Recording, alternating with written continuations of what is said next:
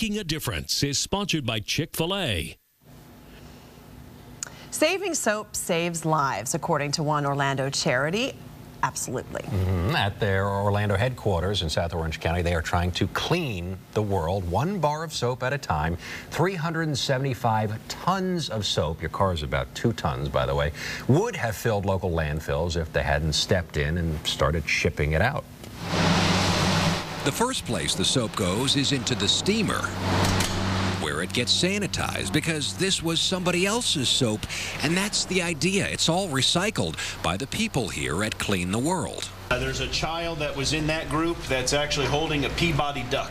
All of these little bars and bottles of shampoo come from hotels around the country, and they go to countries around the world. And have distributed uh, this month over 6 million bars of soap have now hit those in developing countries and in the United States who don't have soap and who are lacking proper hygiene. Last year, Shawn Seipler founded the nonprofit Clean the World here at the Sunport Drive warehouse next to the airport because of what he saw on his business trips. And I literally just asked myself a question one day in a hotel room what happens with the soap and shampoo when I'm done using it? And that question led to understanding that it gets thrown away, understanding that we can recycle it. Seipler calls it a hygiene revolution.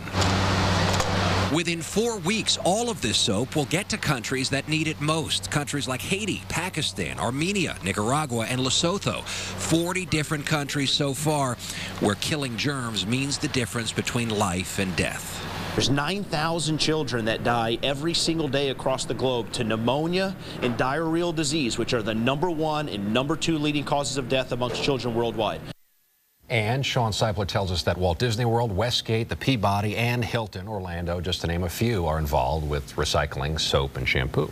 I love that organization. That's really great. And just light bulb went off. We want to hear about people making a difference in your community. Post it on our Facebook page or our website. Send us an email, making a difference at local6.com.